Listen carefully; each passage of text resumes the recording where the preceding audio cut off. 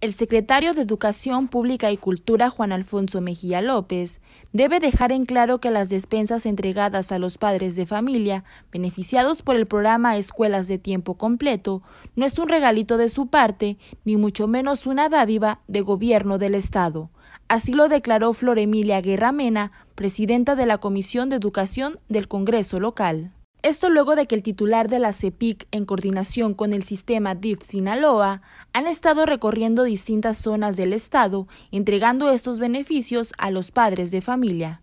La legisladora de Morena compartió que todo apoyo es bueno, sin embargo, en vísperas de que se avecina un proceso electoral, las buenas intenciones en la política se pueden malinterpretar. Se puede malinterpretar, por eso eh, digo que el, secretario debe decir de dónde proviene este, el recurso, para qué estaba etiquetado y que se beneficien los niños que están en el programa de escuelas de tiempo completo, que eh, es un presupuesto que a muchos, a muchos encargados les llegó en el momento que se dio el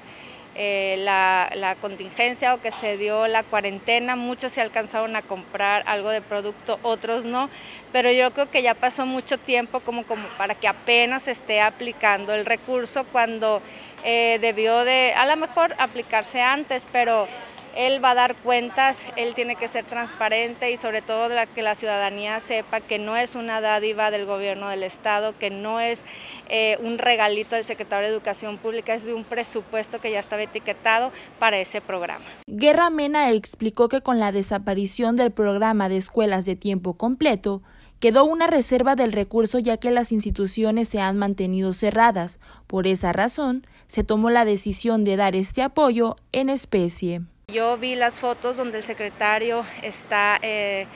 eh, repartiendo despensas, eh, pero no sé si lo hace a título personal o que diga que vienen del presupuesto, que es la alimentación que ellos iban a tener en su horario de clase, pero debido a la pandemia, pues ese dinero quedó